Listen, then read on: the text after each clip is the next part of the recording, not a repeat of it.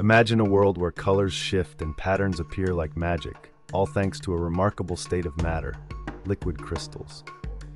While most people think of displays, these materials have been at work in nature for millions of years.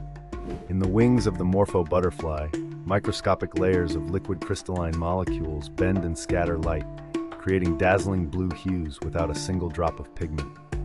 Similarly, the skin of some chameleons contains cells packed with nanocrystals, arranged in a liquid crystalline phase, allowing them to change color on demand.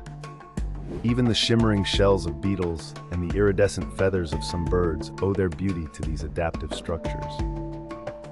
These natural marvels manipulate light by tuning the orientation of their molecules, offering camouflage, communication, and even temperature regulation. By studying how living organisms harness these materials, researchers are unlocking new ways to create adaptive materials that respond to their environment, promising innovations in everything from smart fabrics to advanced sensors.